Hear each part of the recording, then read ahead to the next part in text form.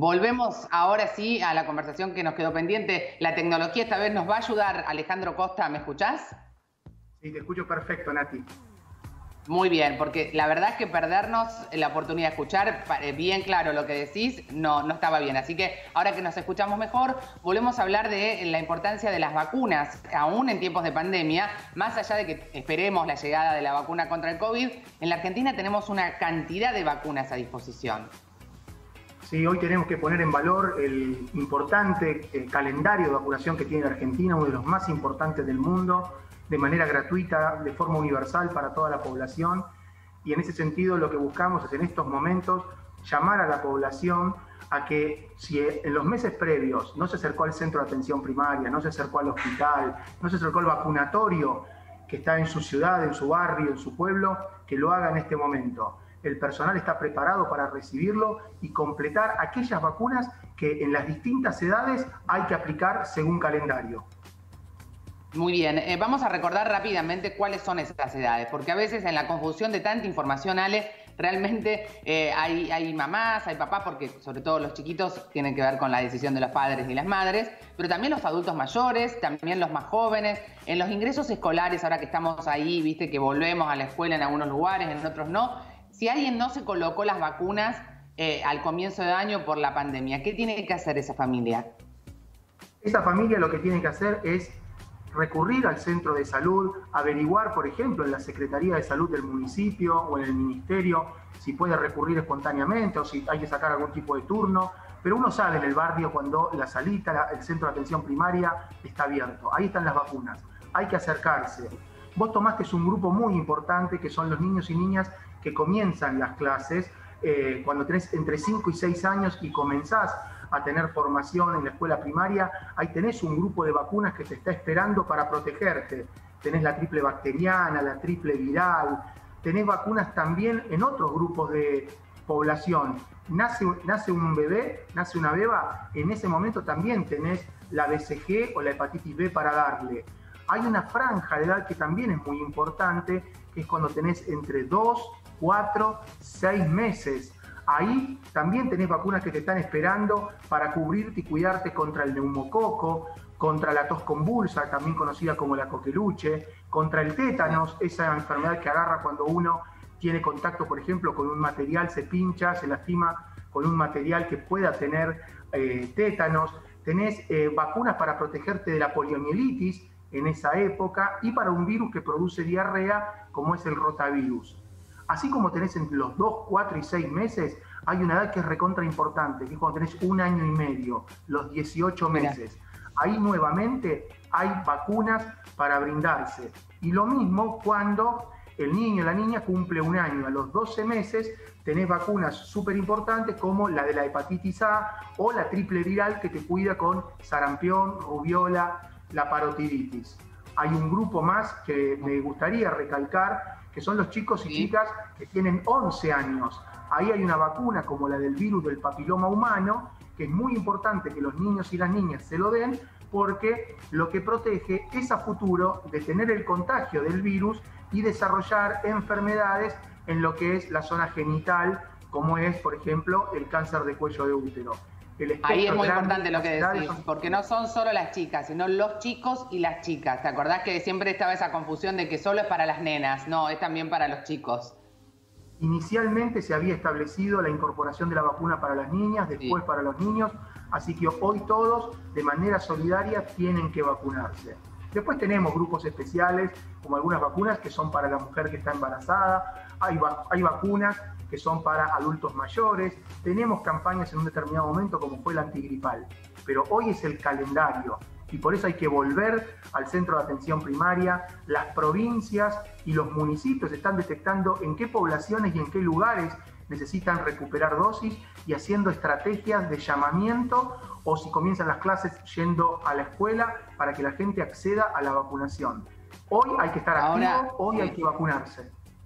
Me parece muy bien, Ale. Ahora, la consulta es, eh, las, dosis están disponibles, porque hubo momentos en que no había dosis. Cuando vos ibas al vacunatorio, quizás no te la podías vacunar. Hoy, eh, y esto siempre lo, lo, menciono, porque para que hoy haya vacunas, antes hubo que, realizar mucho tiempo antes la compra, no es de un día para el otro, ¿no? El Estado tiene que tomar la decisión de proveer de vacunas. Argentina compra las vacunas desde el Estado Nacional, la distribuye a las provincias, a las provincias, a los municipios y ahí llega al centro de salud. En este año, hasta lo que va el mes de septiembre, se ha distribuido ya el 85% de las dosis totales planificadas. Si le ponemos un número, la Nación ha comprado y ya ha distribuido más de 36 millones de dosis en todo el país para estos grupos que tienen que ser cuidados. Así que las vacunas están, hay vacunas y tenemos que aprovechar esta política pública que es tan importante, así como el agua en buenas condiciones es importante para prevenir, la gran innovación tecnológica mundial que ha permitido ir erradicando enfermedades es la vacunación. Y hago una pregunta que tiene que ver un poco siempre con, con esta cuestión de poder tener en clara la información, ¿no? Y no confundirnos. ¿Este calendario de vacunación es obligatorio? ¿La gente eh, tiene que ir y cumplir con la vacunación, por ejemplo, con los niños o con todos los rangos etarios que vos recién mencionabas, Alejandro? El calendario está pensado para organizar en distintas edades qué vacunas te tenés que dar, como recién explicábamos. A su vez, el país, con el objetivo de fortalecer esta política, tiene un marco legal, una ley que establece la importancia estratégica en salud pública de la vacunación y dentro de los principios que se fomentan legalmente está la universalidad para que sea para todos y también el tema de la obligatoriedad. Pero ¿Y por qué estamos hablando de obligatoriedad? Porque hay un concepto fuerte de responsabilidad a la hora de vacunarse. ¿Por qué decimos este concepto fuerte de responsabilidad? Porque cuando uno se vacuna, desarrolla defensas y está protegido uno contra un determinado virus o bacteria, pero a su vez, con esas defensas que uno tiene, evita que el virus o bacteria lo afecte y de esa manera transmitirle a otro.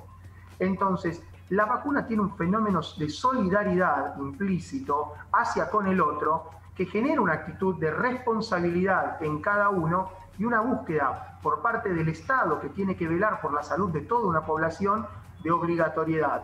Con lo cual, acá lo importante es atar estas tres palabras, la obligatoriedad, la responsabilidad, pero sobre todo la solidaridad. Eso es vacunación. Mira, eh, me parece tan sencillo de, comprender y a veces por eso te, consultaba, porque sé que vos tenés una mirada muy amplia respecto a, la salud y al sanitarismo, porque en realidad como sociedad tenemos que empezar a entender que el sanitarismo tiene que ver con el aporte individual de las partes. Entonces, cuando hablamos de una sociedad sana, hablamos justamente de esta responsabilidad que es solidaria. Y lo digo también por todo el debate que surgió respecto a la vacuna del COVID, si es obligatorio o no. En realidad tenemos que ser solidarios como cuando nos ponemos el tapaboca, como cuando que el tapaboca sería casi te diría el ejemplo más cercano, porque el tapaboca no me cuida a mí, sino que yo estoy cuidando al otro. Y en el tema de la vacuna también me estoy cuidando, poniendo, poniéndomela a mí o a uno de mis hijos, pero también cuido al resto de la sociedad, que es importantísimo. Creo que en este momento tan crítico de la pandemia, no sé qué opinás vos, Alejandro, es una gran oportunidad para interpelarnos como sociedad y con nuestras responsabilidades y derechos como individuos.